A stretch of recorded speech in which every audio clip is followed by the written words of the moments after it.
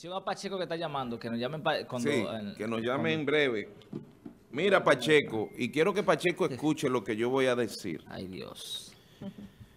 Porque di unas pinceladas y, y obviamente que debo reconocer que en el momento que Carolina advertía que el plan de Luis Abinader basado en este fortalecimiento proyecto de fortalecimiento institucional posiblemente no era el momento o el espacio para que haya un contenido de seguridad nacional, que básicamente está fortaleciendo la institucionalidad del país. Pero creo fundamental que no puede darle de lado al tema de la Dirección General de Migración en su realización como rectora y reguladora de los procesos migratorios en el país, aquellos que están válidamente establecidos por la política migratoria de República Dominicana basado en argumentos y tratados internacionales de los cuales nosotros somos signatarios. Pero esto no es un tema de hoy, es un tema que se advirtió hace más de 30 años en el país, de la cuales ya estábamos nosotros jóvenes. ¿Eh? Porque, aunque usted no lo crea, hablar de 30 años atrás, yo tenía 20 años, 21 años, ¿verdad? Ya era eh, universitario. Y muchos de ustedes que me escuchan también. Y siempre se ha tenido, dentro de los órganos que interactúan en República Dominicana válidamente establecido como es el sistema de Naciones Unidas, entre ellos existen organizaciones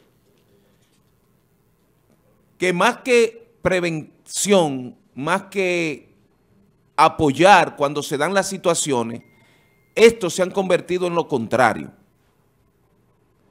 Es un apoyo intencionalmente produciendo casos, produciendo situaciones para verse obligados los estados como el nuestro a asumir posiciones que lejos de garantizar la seguridad del Estado Dominicano, lo que le están es debilitando, al punto que una de las cosas que hemos criticado desde que inició el gobierno de Luis Abinadel es que él se ha hecho acompañar de individuos que pertenecían a esas organizaciones internacionales, siendo dominicanos, pero proyectando una especie de, de trama para solucionar Haití con República Dominicana. Conforme a lo que él ha dicho, el presidente, respecto al tema migratorio y de las parturientas, paralelamente pareciera que hay un plan de gobierno paralelo en el Ministerio de Relaciones Exteriores que ya ha hecho alusión a este mamotreto que se llama Plan de Contingencia, por favor, Plan de Contingencia para flujo masivo de inmigrantes en República Dominicana.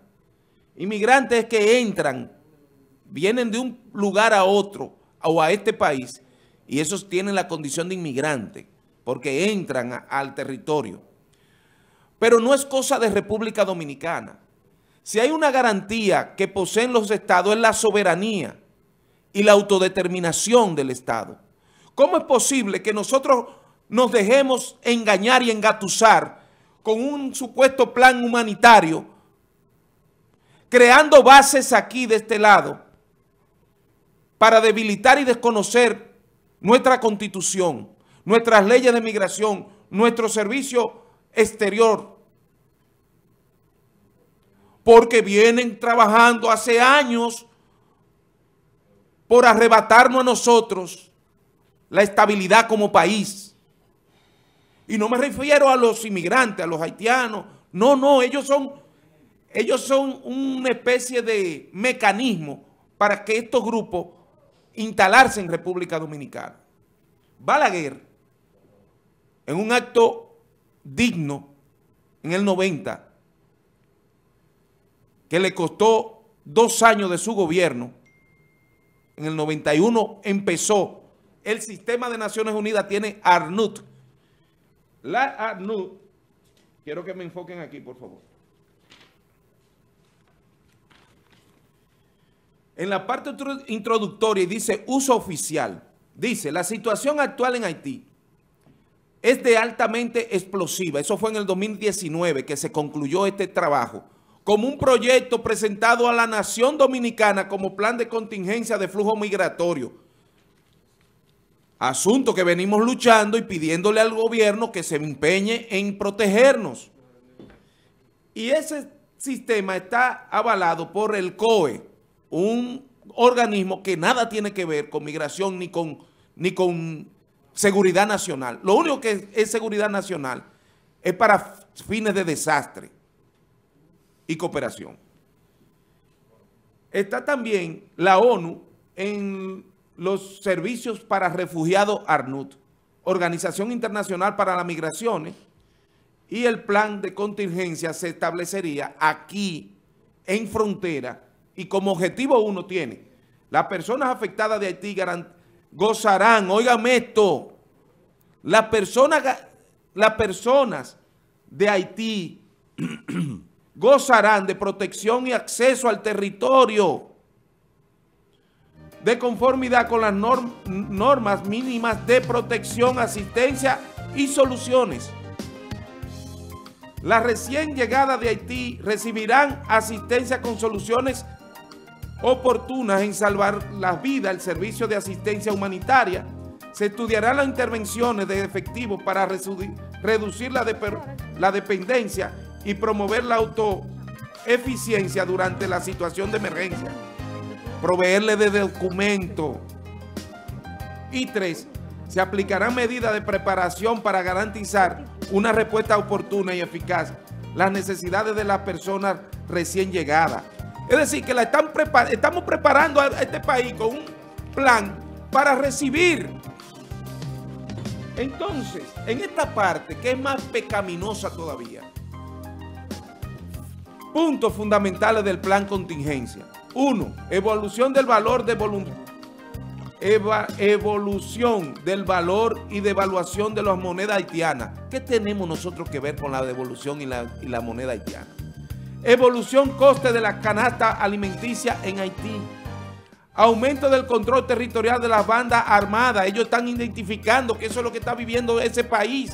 Y esta pobre gente la están utilizando como señuelo se están, se están aprovechando del dolor y la miseria de ese pueblo. Grave problema en gobernanza en el país. Número de ministerios dejan de funcionar. Claro, allí no hay Estado. Allí hay un presidente que en febrero termina su mandato. Y esta gente están preparando al país porque de aquí a febrero hay grupos armados allá que van a producir esa explosión. Y pareciera, y yo particularmente, Digo que más que un plan de contingencia, más que un plan de contingencia, lo que se ha elaborado aquí, es un plan de escape de Haití hacia República Dominicana como si lo estuviéramos salvando de un secuestro. ¿Ustedes están entendiendo?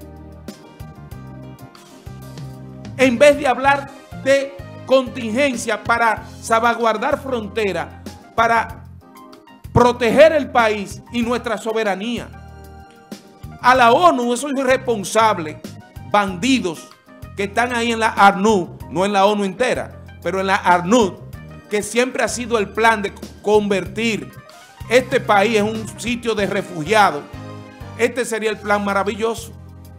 Balaguer en el 91, que le costó dos años, le propusieron lo siguiente. Nosotros queremos que como país usted acepte 20 campamentos, 20 campamentos de a 20 mil personas, oigan esto, 20,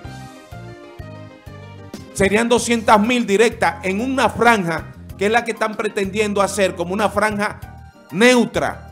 Ni es de Haití ni es de República Dominicana, pero en el territorio dominicano. Balaguer válidamente le dijo, sería un despropósito, sería desconocer toda la sangre que el pueblo dominicano ha vertido por la redención y por la libertad de un pueblo que ha luchado por su independencia. Esto, Bien. Luis Abinader tiene que frenar a ese carajo de Álvarez, Rafael Álvarez. Eh, ¿Cómo se llama? Manuel Al- Álvarez. Sí. El ministro de Relaciones Exteriores y a ese grupo que él ha empleado, que siempre han estado propiciando este tipo de cosas, debilitándonos institucionalmente y legalmente. Bien. Decirle no al plan Gracias, Manzano de rescate de Haití con República Dominicana. Bien.